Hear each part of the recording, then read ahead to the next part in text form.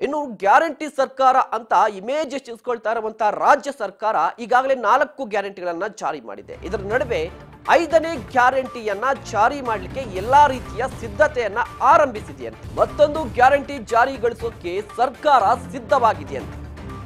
ಸರ್ಕಾರದ ಮತ್ತೊಂದು ಮಹತ್ವಾಕಾಂಕ್ಷಿ ಗ್ಯಾರಂಟಿ ಯೋಜನೆ ಇವನಿಗೆ.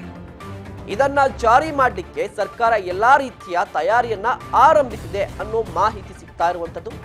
ಡಿಸೆಂಬರ್ ಇಪ್ಪತ್ತ ಒಂದರಿಂದ ನೋಂದಣಿ ಪ್ರಕ್ರಿಯೆ ಆರಂಭವಾಗುತ್ತಂತೆ. ಜನವರಿಯಲ್ಲಿ ಯೋಜನೆಗೆ ಅಧಿಕೃತವಾಗಿ ಚಾಲನೆ ಕೂಡ ಸಿಗುತ್ತಂತೆ.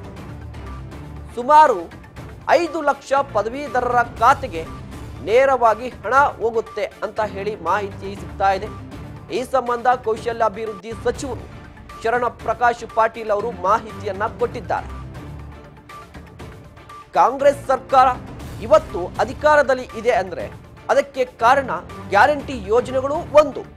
ಈ ಗ್ಯಾರಂಟಿ ಯೋಜನೆಗಳು ಐದು ಗ್ಯಾರಂಟಿಗಳನ್ನು ಘೋಷಣೆ ಮಾಡಿತ್ತು. ಈಗ ನಾಲ್ಕು ಗ್ಯಾರಂಟಿಗಳು ರಾಜ್ಯದಲ್ಲಿ ಜಾರಿಯಾಗಿದೆ. ಇದರ ನಡುವೆ ಉಳಿದಿರುವಂಥದ್ದು ಯುವ ನಿಧಿ. ಆ ಯುವ ನಿಧಿ ಯಾವತ್ತು ಜಾರಿಯಾಗುತ್ತೆ, ಹೇಗೆ ಜಾರಿಯುತ್ತೆ, ಜಾರಿಯಾಗುತ್ತೆ ಅನ್ನೋದ್ರ ಬಗ್ಗೆ ಇನ್ನೂ ಕೂಡ ಮಾಹಿತಿ ಇರಲಿಲ್ಲ. ಒಂದು ಕಡೆ ಶಕ್ತಿ ಯೋಜನೆಯನ್ನು ಮೊದಲ ಯೋಜನೆಯಾಗಿ ಜಾರಿ ಮಾಡಿದ್ರು. ಅದಾದ ನಂತರ ಅನ್ನಭಾಗ್ಯ ಯೋಜನೆಯನ್ನ ಸರ್ಕಾರ ಜಾರಿ ಮಾಡಿತು. ಅದಾದ ಬಳಿಕ ಗೃಹಲಕ್ಷ್ಮಿ, ಗೃಹ ಜ್ಯೋತಿ ಎರಡೂ ಯೋಜನೆಗಳನ್ನ ಕೂಡ ಒಟ್ಟಾರೆ ನಾಲ್ಕು ಯೋಜನೆಗಳನ್ನ ಜಾರಿ ಮಾಡಿದೆ ರಾಜ್ಯ ಸರ್ಕಾರ. ಇನ್ನು ಉಳಿದಿರುವಂಥದ್ದು ಯುವನಿಧಿ ಕಾರ್ಯಕ್ರಮ. ಈ ಯುವನಿಧಿ ಯೋಜನೆಯನ್ನು ಯೋಜನೆಯನ್ನ ಯಾವತ್ತಿನಿಂದ ಜಾರಿ ಮಾಡ್ತಾರೆ ಅನ್ನೋ ಪ್ರಶ್ನೆ ಇತ್ತು. ಈಗ ಆ ಪ್ರಶ್ನೆಗೆ ಉತ್ತರವನ್ನು ಕೊಟ್ಟಿದ್ದಾರೆ ಸಚಿವರು. ಡಿಸೆಂಬರ್ ತಿಂಗಳಲ್ಲಿ ಇವತ್ತು, ಅಂದರೆ ಈ ತಿಂಗಳ ಇಪ್ಪತ್ತ ಒಂದರಿಂದ ನೋಂದಣಿ ಪ್ರಕ್ರಿಯೆ ಆರಂಭವಾಗುತ್ತೆ.